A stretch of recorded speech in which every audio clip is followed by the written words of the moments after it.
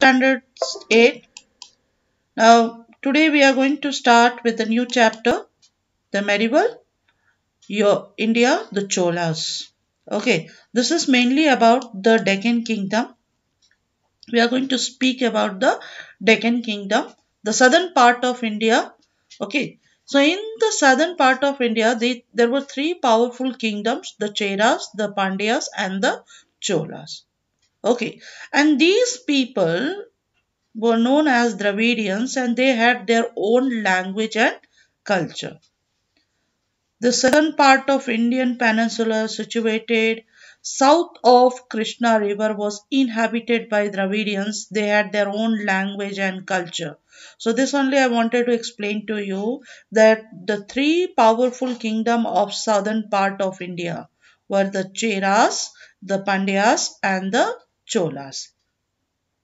And there was this was situated south of Krishna river.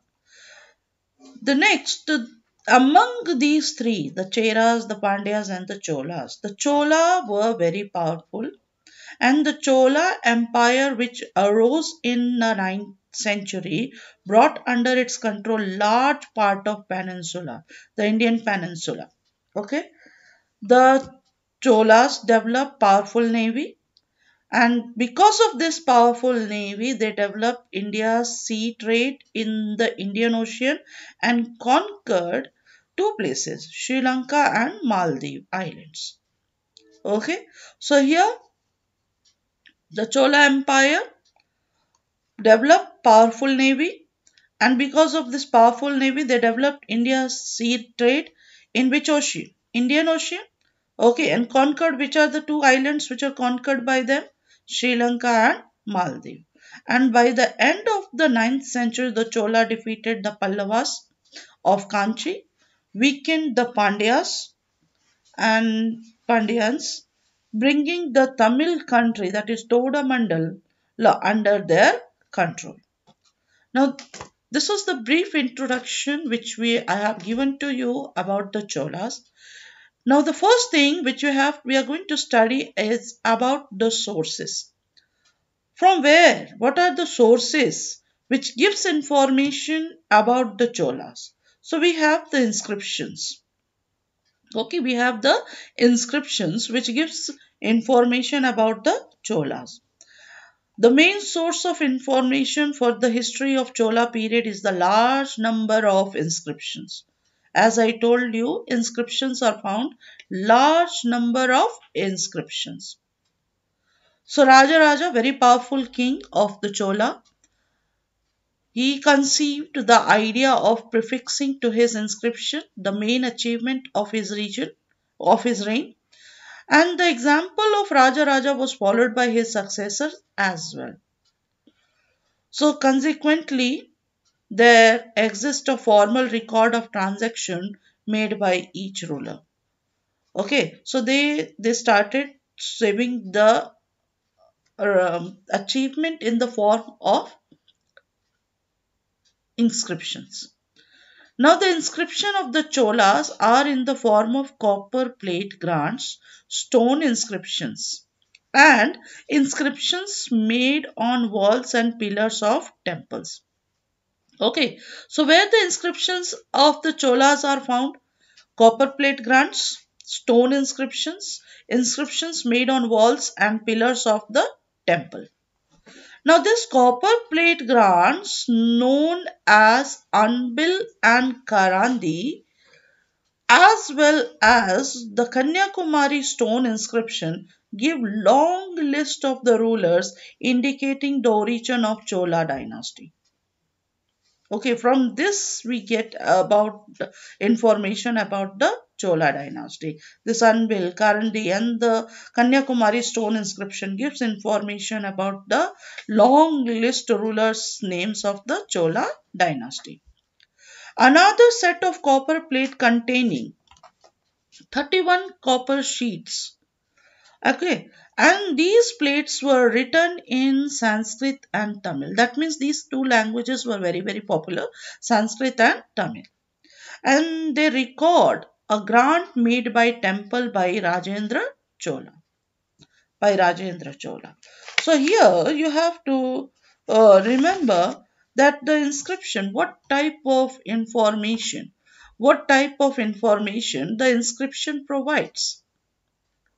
It tells us about the Chola administration. The inscriptions tells us about the Chola administration. They record gifts and endowment to the temples and Brahmins. Okay, the copper plate grants uh, inscriptions are the record of grants of the villages, plot of land, other privilege to individual or institution by the Cholas. They inform us about the construction of temple or the setting up of a new image of the deity. Some inscriptions have royal orders on taxation and land revenue, resolutions of village assemblies, judgments delivered against persons guilty of theft, murder, and other crimes.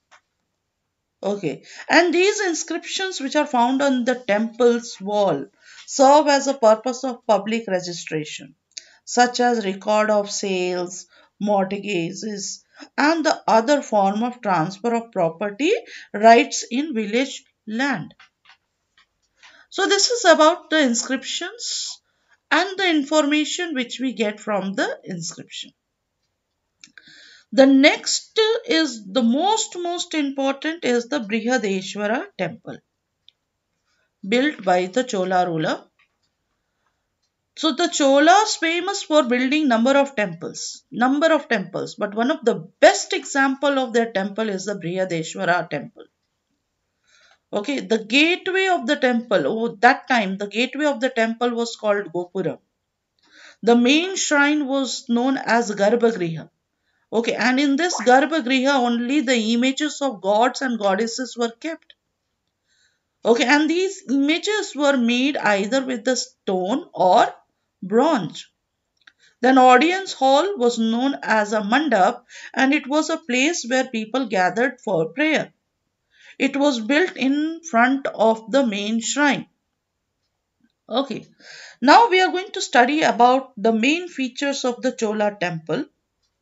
This Chola temple was having their massive vimans or towers and spacious courtyard. Okay, so here this temple, Brihadeshwara temple, also known as Raja Rajarajeshwara temple and it is dedicated to Lord Shiva located at Tanjore and was built by the Chola king Rajaraja I and the best specimen of Dravidian style architecture. The main structure of temple has a great viman or tower which rises to a height of 190 feet and it is crowned by a massive dome consisting of a single block of stone 25 feet high and weighing about 80 tons. The massive temple building is covered from the base to the top with sculptures and decorative molding. And the shrine houses a gigantic Shivalingam cut in a monolithic rock about 8.87 meter high.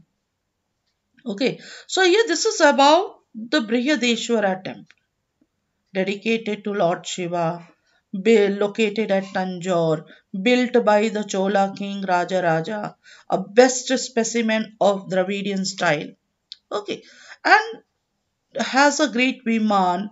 This rises to height of 190 feet, crowned by massive dome consisting of single block of stone and the monolithic rock सिर्फ one rock से बनाया गया है okay it's uh, the shrine a house or gigantic shivalingam cut in a monolithic rock about 8.87 meters high okay so here we have studied about brihadeshwara temple and the inscription that means we completed the sources of the Cholas, mainly the inscriptions and the Brihadeshwara temple.